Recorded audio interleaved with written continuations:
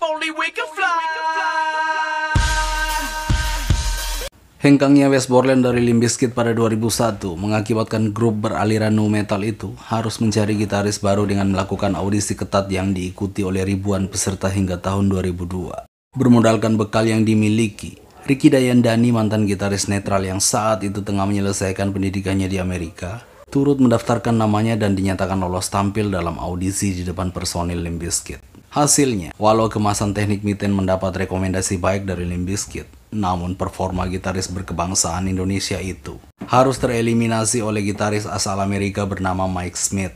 Kesempatan itu diberikan kepada Mike karena sebelumnya mereka memang sudah saling mengenal sejak Smith tergabung sebagai gitaris sebuah band bernama Snot yang merupakan band sahabat Limp Bizkit. Pengalaman ini yang kemudian menjadi salah satu kenangan sejarah karir bermusik Miten setelah kepergiannya.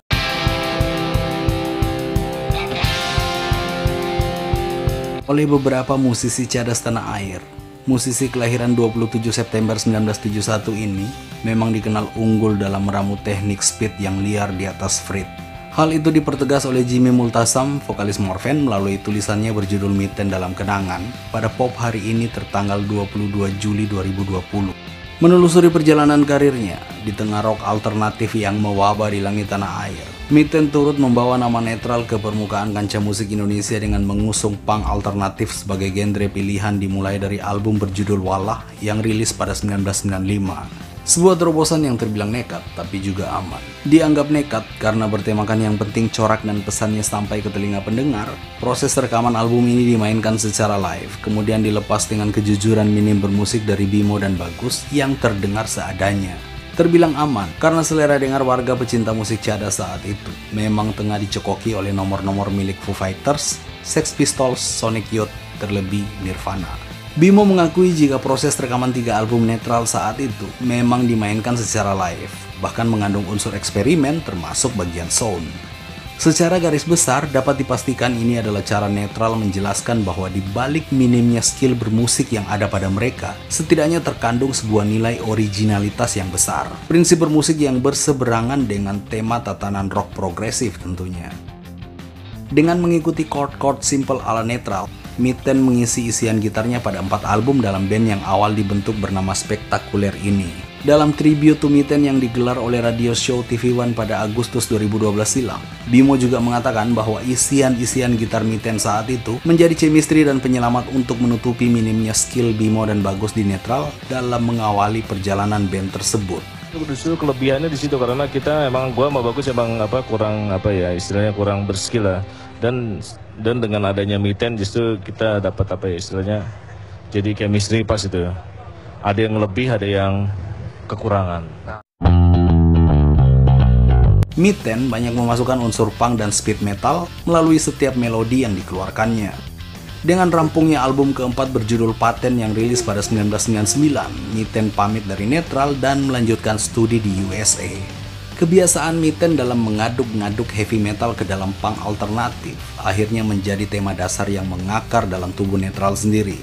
Karena nasib harmonisasi netral memang sepenuhnya berada pada tangan Mitten. Butuh waktu sekitar 4 tahun bagi Bagus untuk menemukan pengganti posisi Mitten dalam netral. Tergabungnya Bolmeyer sebagai personil resmi pada 2003 tentu memberi energi berbeda bagi Bagus dalam melanjutkan band itu, di mana warna yang diberikan oleh Coki sebagai eksekutor semua lain gitar dalam proyek-proyek lanjutan netral akhirnya memang tidak lagi senyawa dengan suguhan yang pernah diberikan oleh Mitten pada netral karena keunggulan masing-masing. Dengan begitu, tanpa mengusik pangsa pasar yang sudah dimiliki netral, Bagus bergerilya mengumpulkan kembali sisa warna yang mulai memudar. Bertemakan musik semau kami aja yang penting pesan melekat di kuping penggemar. Pada 2012 Bagus dan Bimo seperti berupaya menggali energi masa lalu dengan membentuk band bernama Brutal dan mencolek Mitten yang sudah kembali ke tanah air sebagai additional player untuk mengisi part gitar di beberapa lagu yang termuat di album Debat Semau Gue. Senggolan-senggolan gitar Mitten pada beberapa nomor dalam album ini justru mewakili keseluruhan tema dari band bernama Brutal itu sendiri. Dan benar saja, muatan proyek itu kemudian menyemburkan jenis musik netral era awal. Maka semakin jelaslah bahwa terbentuknya band ini sendiri tak lain ialah mengembalikan originalitas netral dengan memasukkan pelor, mampet, dan ruwet berdampingan dengan single Jagoan Semau Gue sebagai pelengkap reuni kolaborasi audio mereka. Dengan memilih jalur gitar direct recording, di sini Miten menggunakan gitar Music Man Axis Series, kemudian ampli Marshall GCM 2000 dan efek Potline 6 sebagai senjata tempur dalam proyek bertajuk Reunit itu. Di sela proyek reunian tersebut, Miten juga sebenarnya tengah merampungkan tag gitar sebanyak 5 lagu pada proyek solonya yang meluncur di jalur heavy metal. Demo lagu yang telah disalin ke dalam format MP3 player tersebut sempat diperdengarkan oleh Mitten kepada Jimmy Multasim saat mengisi gelaran di acara Off Air Radio 99ers di Planet Hollywood bersama Brutal yang turut memboyong Mitten sebagai bintang tamu dan membawakan dua lagu lawas milik Netral. Musik yang dimainkan Mitten dalam MP3 player itu menurut Jimmy memang terdengar rapi dan kental dengan muatan speed metal sebagaimana aslinya Mitten. Dalam proyek solo ini, nama Andi Babas merupakan pilihan yang menempati posisi teratas untuk didapuk sebagai pengisi vokal dalam proyek itu. Namun belum lagi sepenuhnya rampung, Miten harus meletakkan gitarnya demi menjalani perawatan yang mengharuskannya beristirahat total.